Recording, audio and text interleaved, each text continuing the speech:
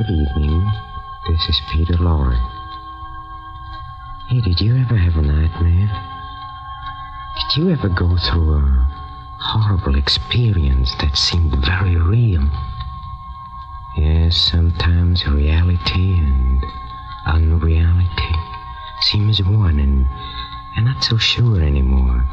Like the fellow tonight in a mystery playhouse.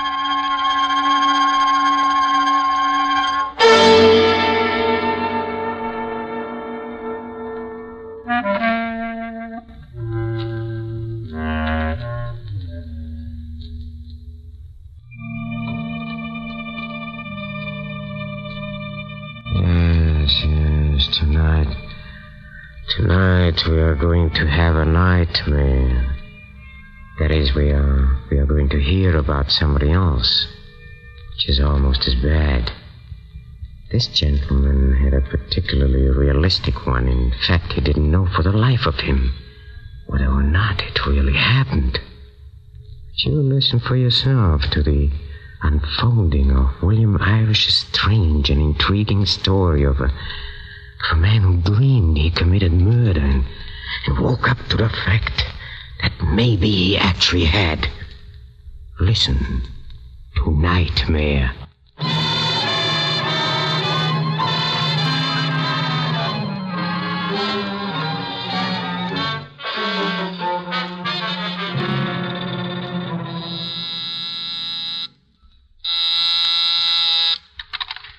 Dodge, Homicide Division.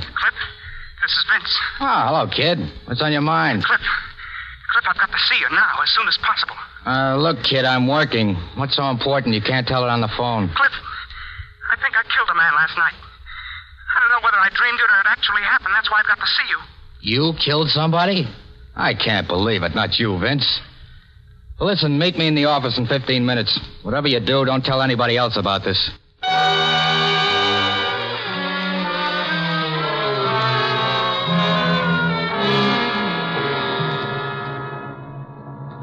Go ahead, Vince. Tell me some more about this dream of yours. Well, after that, Cliff, all I remember is the white face. The face of a woman. Beautiful, but, but false somehow. You see, we were in a room with nothing but doors, eight doors, frame to frame, with no wall space between. Well, I, I opened one of the doors, and suddenly someone rushed at me. We struggled, and he forced me to the floor. As we fought, he said to the woman, Hand me that knife. Well, I raised my hand to defend myself, and suddenly I felt the handle of something. I realized the woman had put the knife into my hand by mistake. And then I. Then you stabbed him. Yeah. And I stabbed him. Well, after that, the woman disappeared, and I felt I had to hide the body. Well, behind one of the eight doors, there was a closet. I propped the body inside, and I locked the door. Then I went out of the house.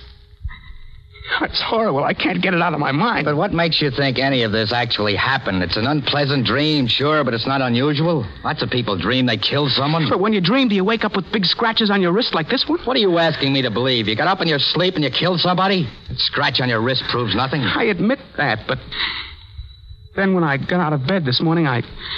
Here, I found this button. Now, wait a minute. You're not going to tell me that button came off in your hand while you were wrestling with that guy in the dream. That's the way it happened. That I refuse to believe. It came off your shirt. I could never afford pearl buttons. You know that. Not real pearl. Now, listen to me, Vince. I don't want to hear any more of this. If I weren't your brother in law, I'd lock you up and call a psychiatrist. How do you think all this makes me feel? Cliff, it, if it wasn't for the key, I could forget the whole thing. Key? Key? What key? I suppose it's something else from your dream. Now stop it, Vince. I don't want to hear any more. That's right. Go ahead, get sore.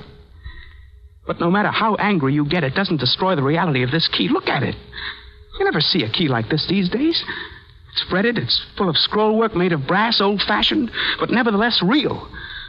And in the dream, if it was a dream, that's the key I used to lock the body in the closet. What's there left to think? Only this. There's somewhere, somewhere, there's a door that this, this key belongs to. And behind that door, there's a dead man, I don't know where. My Lord, I don't know where. Or who he is, nor how and why it happened. Now, look, kid. It's just one of those cockeyed dreams that happen to people, that's all. Ah, if it'll make you feel any better, you can go in the teletype room and watch the reports, Vince. Every crime committed in this state is reported on those machines. Maybe you can identify yourself with some criminal and get this thing off your chest. I'll join you later.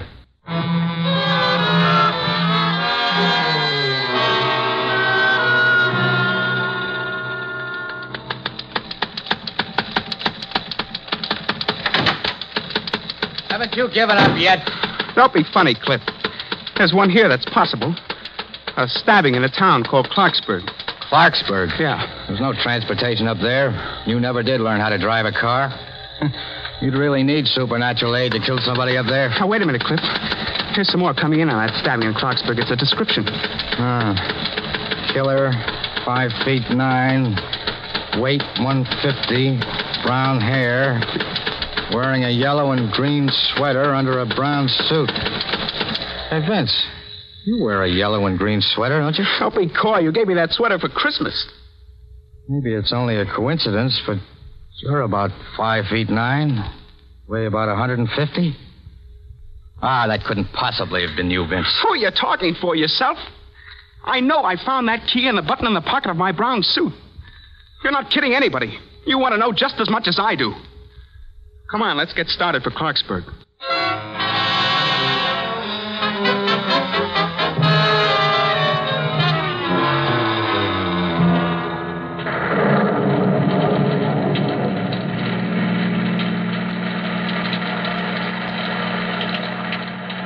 That lousy rain must be a cloudburst. I can't see a thing.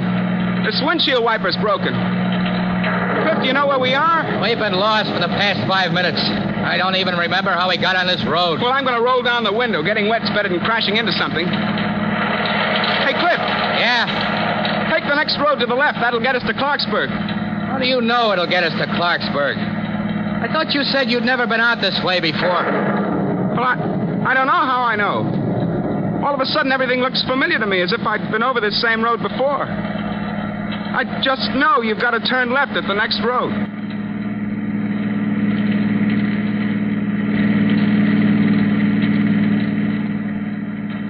Stop here, Cliff. Stop here. Hey, what's the big idea? You're trying to kill somebody grabbing the brake that way? That house, Cliff. There with the big porch. That's the house with the eight room door. How do you know that's the house? But you said you'd never been out here before. I've never been here before in my life. Unless. Unless it happened in your dream, is that it? Well, I think this is all crazy. We'll soon know for sure. Come on. We're going in and see whether there's an eight doored room or not.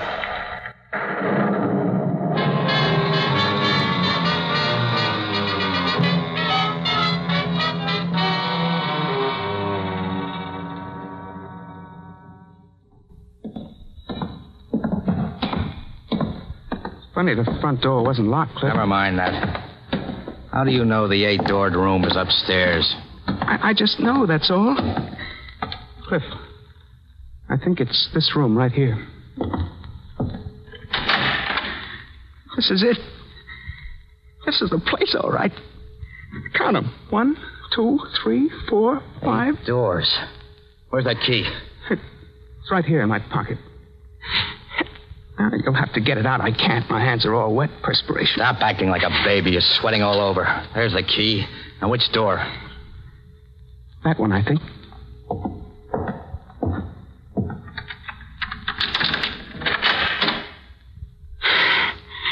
There's nothing there.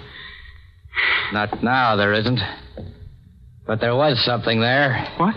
Look, there's blood on the wall. Oh, Lord. Now do you believe me? Now do you understand that I wasn't joking when I told you about my dream? Sure, I believe you.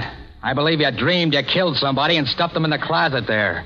I believe you never saw this place before. That you intuitively knew which road to take and which house to come to. What do you take me for, a dope? I wasn't lying to you, Cliff. Honest, I wasn't lying. You came to me for help, didn't you? But you didn't have guts enough to come clean to say, Cliff, I went out to a place last night and killed a guy for such and such a reason. No, you cook up a dream trying to take advantage of me because I'm married to your sister. No, Cliff. Abusing my gullibility because I like you, making a fool out of me. Cliff, I wasn't lying to you. Everything happened just as I told you it did. How I happen to know this house was here, I don't remember. You've got to believe me. Shut up. Cliff. The dream's over now and baby's awake. You're going to start all over from scratch, you and me. I'm going to get the facts out of you. Please, Cliff, let go of my shoulder. You're hurting me. What were you doing here last night? I never was here before. I never saw it until I came here with Don't you. lie. Every time you lie, you're going to get something like this. Oh, please, Cliff, I'm half crazy already without you beating me. Who was the guy you did it to? What was his name? I tell you, I don't know. I don't know. Are you gonna answer me, Vince? I can't. You're asking me things I can't answer. Who was the guy? Why did you kill him? I've handled close-mouthed guys before. You're gonna tell me if I have to slap it out of you. Right in this spot where you killed somebody else. Cliff, please, please don't hit me again. What was that? It sounded like a door slam. Then there's somebody else in this house. Which door did we come in? I don't know. One of the eight? All right, you guys, I've got you covered. Back up against that door there. One false move and I'll drop you.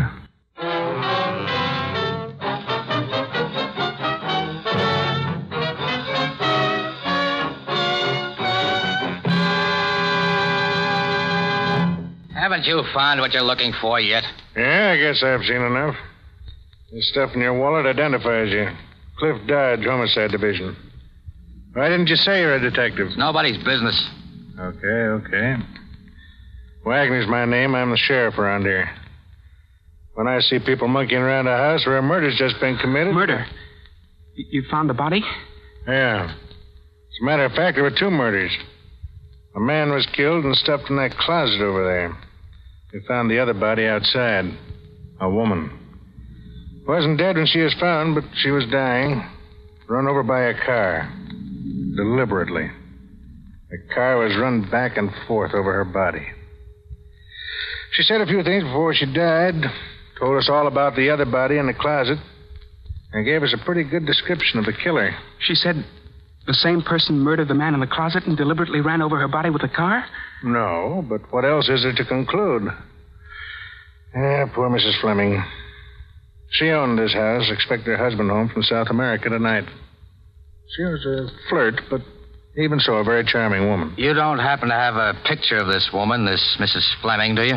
There's one in the next room. That door behind you. Open the door, Vince. I can't, Cliff. I can't. Open the door. Please, Cliff. Open the door.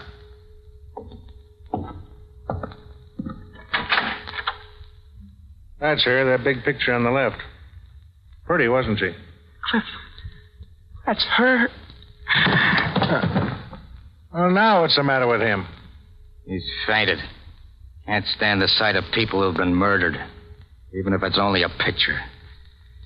Give me a hand with him, will you?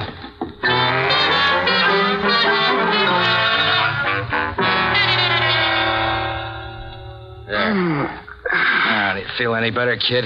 Yeah. Yeah, I feel all right. Cliff. Cliff, that picture. It was the same woman. The woman from the dream. Also, the woman who was run over and over with an automobile. But I can't drive, Cliff. You know I can't drive. Yeah, if it hadn't been for that, I'd have turned you over to Wagner for murder. Did the sheriff leave? Yeah, he left. But I still don't believe that stuff about a dream. Are you sure you didn't leave something out, some small detail? No, no, no. I told you everything, Cliff. I was tired. I went to bed early. I fell asleep. That is right after Mr. Berg closed my door. Berg. You didn't mention any Mr. Berg before. Well, he moved into our rooming house about a month ago. Why did he come into your room? Well, the, lights went on a blink. I remember he was carrying a candle. How was Berg holding that candle? Oh, the flame was right in front of his eyes. I, I remember staring at it. I, I was very tired, Cliff. I don't remember everything. And Berg, he said you were very tired, didn't he? Yeah. Yeah, now that you mention it, he did say that. Good. Now, have you ever seen this picture? No? No, but the, but the man looks familiar. Say, that looks like Berg. I never saw him so well dressed, but that's Berg, all right. I found this picture in this room. Here? In this room? You, you found Berg's. What are you driving at? Sense, reason, logic, sanity. The man you identify as Berg also happens to be Mr. Fleming, the husband of the woman who was killed last night. Berg is Fleming and Fleming is Berg? Now I'm really going out of my mind. It's simple to a flatfoot. I figure that Fleming pretended he went to South America. He took a room in your rooming house under the name of Berg. And tonight he's pretending to return from South America. At least Wagner said he's expected. And last night Fleming came back here and murdered his wife? But but who killed the other one? The man. You did. But you didn't know you were doing it. Oh, I did kill someone after all. I am a murderer. I still don't understand how it happened. All but- right, kid, relax. Because we're going to find out tonight. Find out. Right. Now, if Fleming comes home, as his wife expected him to do, you're going to be waiting in this room for him. Waiting with a gun. That won't do any good, It might after you've learned a few answers. Now, I'm going to tell you exactly what to say to Fleming, word for word. You might not understand, but you're going to memorize the things I tell you to say, word for word. Memorize? Yeah, because your life depends on it. Cliff, you're not going to leave me here alone, are you, Cliff? There'll be nothing I can do to help you, kid. If everything goes right, you'll come out of this scot free. If anything goes wrong, that's the end. Now, Fleming will probably come up those stairs at the far end of the hall.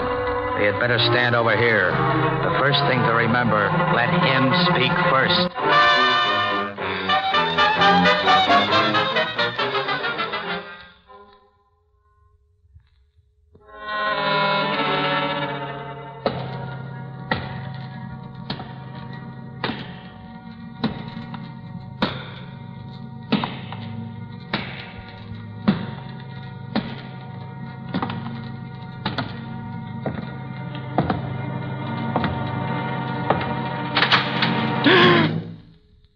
Did you get here?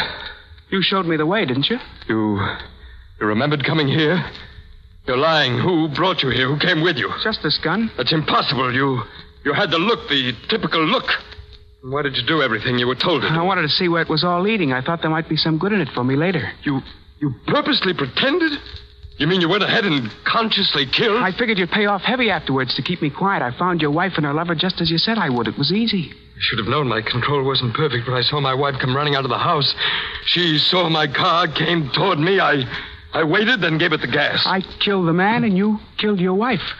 You wanted them both dead, didn't you? Yes, yes, but I didn't want to have to kill her myself.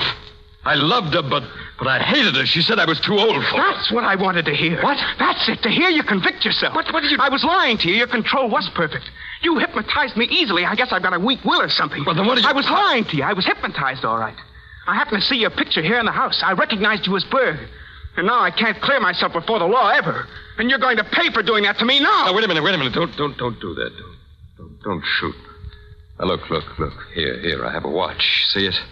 Solid gold inset with diamonds and rubies. It's worth $20,000. It's yours if you'll let me go. Stop dangling it that way. What are you trying to do? Now, listen to me. Give me another minute, a minute by the watch. Uh, stay where you are. Now don't move. You.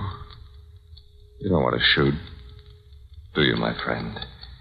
You wouldn't want to smash this beautiful, lustrous watch? A golden, shining little timepiece? You can't take your eyes from it, can you? Please. Don't. Uh, take it away. Shining in my eyes. But you love it. You're fascinated by it, aren't you? And now you're tired. You're very tired. And that gun is much too heavy for you to hold. Just drop the gun to the floor. It won't be so heavy anymore. Just drop the gun. Drop gun. My control is perfect. Here, take this notebook and this pencil. Take notebook, pencil. Write as I dictate. I am wanted for the murder of two people at the Fleming house. I wanted the murder two people. Fleming House. They are bound to get me, so I take this way out. They are bound to get me. Take way out. Sign your name. There. Now give me the notebook and the pencil. Now pick up your gun again. Hurry. That's it. Now put the barrel of the gun in your mouth.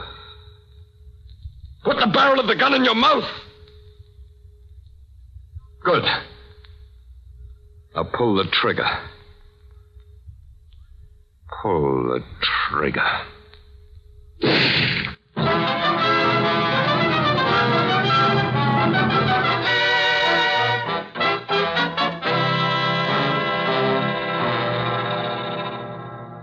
How is he, Sheriff?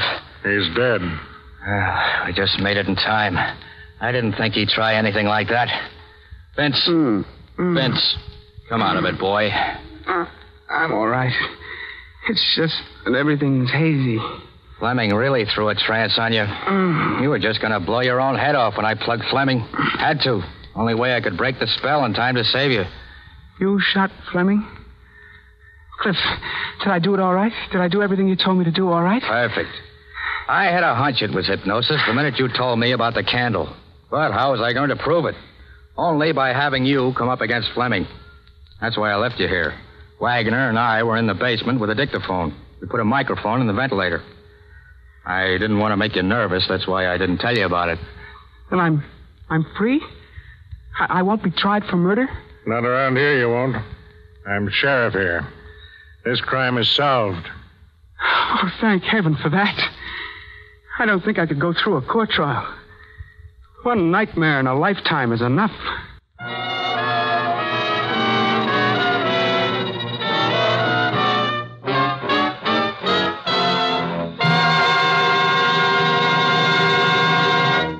That, my friends, was Nightmare. Tonight's performance in a mystery playhouse. And now, for heaven's sake, let's get off that nightmare. What do you suppose all this is, huh? Sounds like somebody got themselves murdered, doesn't it? Well, hmm. that was an appetizer for our next mystery entree. Mm. And that old master chef, the laughing boy of the inner sanctum, Raymond, is going to serve it up to you. Mm, yes. Raymond's going to be here next time in company with his fellow creeps in another attempt to scare the living daylights out of you. So why not humor the young creep and be around when we open the squeaking door of the inner sanctum? Hmm? This is Peter Lorre closing the doors of the Mystery Playhouse. Good night. Sleep tight.